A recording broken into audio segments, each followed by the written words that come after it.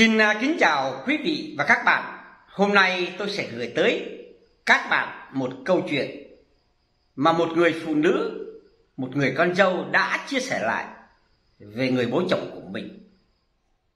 Và trước khi vào câu chuyện này, tôi không quên gửi tới các bạn một lời chúc bình an, hạnh phúc, may mắn trong cuộc sống. Thưa các bạn, câu chuyện như thế này. Bố chồng đêm nào cũng gọi điện tâm sự tôi tá hỏa nhìn thấy thứ động đậy trong gặp bạn.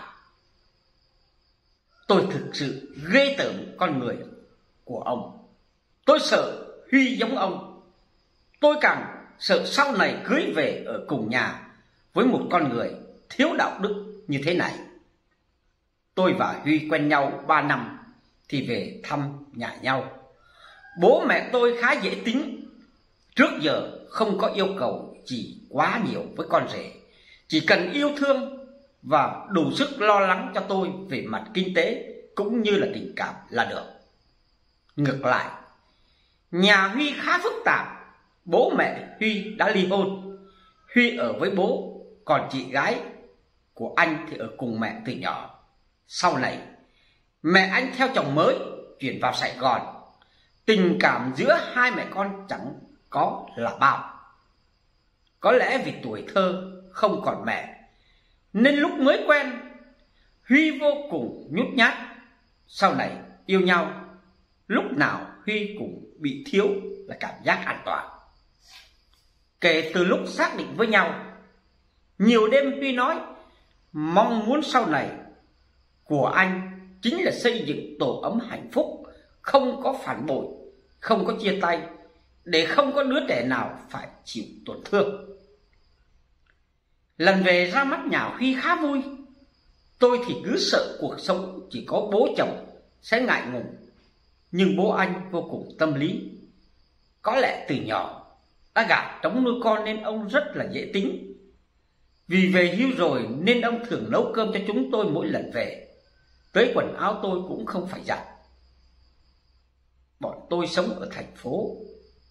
Bố Huy thì vẫn ở quê, Nên chị họ anh có để một đứa con sang ở với bố Huy.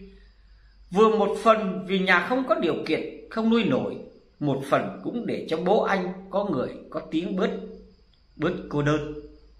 Có điều là là bố Huy có vẻ rất quý tôi từ ngày xác định cưới sinh. Bố anh ngày nào cũng gọi điện hỏi thăm.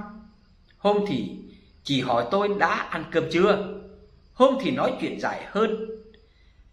Kể đủ thú trên đời dưới đất nào là con lợn ở nhà mới đẻ con? Nào là ông hàng xóm Bằng tuổi bố đã đi bước nữa? Tôi chẳng biết từ bao giờ trở thành một phần trong gia đình của Huy. Nhiều hôm là tôi còn tưởng bố Huy là bố ruột. Vì sự gắn bó chẳng kém là bao, Thậm chí bố tôi còn nửa năm mới bốc máy gọi cho tôi một lần. Một hôm, tôi đang ngồi ở quán cà phê, Thì thấy bố Huy gọi điện và đang ngồi cùng bạn bè nên tôi không bắt máy định bụng về sẽ gọi lại cho ông, nhưng quên mất. 10 giờ đêm tôi tắm giặt xong thì mới nhớ ra. Mở máy gọi lại thì không thấy bắt máy, tôi lo ông có chuyện gì nên gọi lại lần thứ hai. Hai lần này có người bắt máy. Tôi thấy ông đang mồ hôi, dễ dãi, hơi thở gấp gáp. Thì cứ tưởng ông ốm nên gạt hỏi thì ông chối bảo ông không sao. Tôi không phải lo. Dĩ nhiên là tôi lo chứ. Ông ở có một mình một thân. Giờ lại già rồi, Tôi gọi cu tèo, Tên là ở nhà của thằng cháu họ. Tôi càng gọi, ông càng run rẩy, Bảo nó ngủ rồi đừng đánh thức. Ông thật sự không sao rồi. Nói tôi đi ngủ sớm đi, Mai ông gọi lại. Đúng lúc định cúp máy Thì bên ngoài có tiếng gọi. Mẹ ơi, rất lớn. Tôi còn đang bất ngờ thì thấy từ trong gầm bàn nhà Huy có thứ gì đó lòi ra động đậy. Một lúc sau có người phụ nữ chui ra, tôi hét lên muốn rơi cả điện thoại. Người phụ nữ đó quay mặt càng làm tôi chết khiếp, đó là bà hàng xóm nhà Huy. Người này đã có chồng và hai đứa con lớn. Tôi sợ hãi không nói nên lời. Bố Huy thấy thế thì cúp máy cái dục. Tối đó ông nhắn tin cho tôi nói xin tôi đừng kể với Huy, chuyện này ông sẽ dừng lại, chẳng qua chỉ là nhất thời, không làm chủ được cảm xúc. Nên như vậy, ông già rồi chỉ muốn kiếm chỗ vui một chút, chứ không có ý định phá hoại hạnh phúc nhà ai, cũng không muốn đi thêm bước nữa. Từ hôm ấy, ông gọi cho tôi, bắt máy, tôi cũng không liên lạc với huy, dù anh nhiều lần gọi điện. Tìm đến nhà, nói sao nhỉ, tôi từng rất tôn trọng bố huy tôi nghĩ nói nhà anh tan vỡ vì mẹ anh có thói ong bướm bên ngoài. Bố anh tận tảo nuôi ông. Nuôi anh. Trong suy nghĩ của tôi, huy sự thật sự giống bố, sẽ là người đàn ông của gia đình, là người từng chịu tổn thương, nên sẽ không bao giờ phản bội tôi.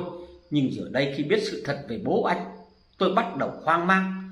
Không biết lý do thực sự có phải là do mẹ huy như lời huy kể. Hơn hết tôi thực sự rất là ghê tởm con người của ông. Tôi sợ huy giống ông, tôi càng sợ sau này cưới về ở cùng nhà với một con người thiếu đạo đức như thế này. Bây giờ tôi phải làm sao đây? Nên tiếp tục hay là dừng lại? Vâng thưa các bạn. Thì à, trong à, xã hội, trong cuộc sống, thì mỗi cây, mỗi hoa, mỗi nhà, mỗi cảnh chả biết như thế nào đó thì cô ta cũng muốn là chia sẻ cái câu chuyện này. Mong à, cô chú anh chị, các bạn cũng là đưa ra lời góp ý, cũng như ra là lời động viên. Và cô ta yêu là người Huy. Nhưng mà cô ta vô tình bắt gặp bố của Huy. Thì ngoại tình với một người phụ nữ, hàng xóm mà người phụ nữ thì đang là có gia đình. Đây quả thật là một điều mà cô ta rất là phân vân cũng sợ là chồng của mình sau này cũng giống như là bố chồng của mình. Nên cô ta muốn đưa ra đây để chia sẻ lại cho mọi người để mọi người gần xa cho cô ta. À, một lời khuyên một lời động viên có nên tiến tới hôn nhân nữa hay không? Thì đây là quả một điều rất là khó khăn khó khăn theo bản thân tôi. Thì à, tôi cũng mong gửi được cái video này đến tận tay, đến là quý vị và các bạn, để quý vị các bạn lắng nghe và chia sẻ giúp cô ta cái câu chuyện này. Và tôi cũng rất chân thành cảm ơn các bạn. Trong thời gian qua, luôn luôn đồng hành cũng như là đóng góp ý kiến là ủng hộ cho kênh của tôi.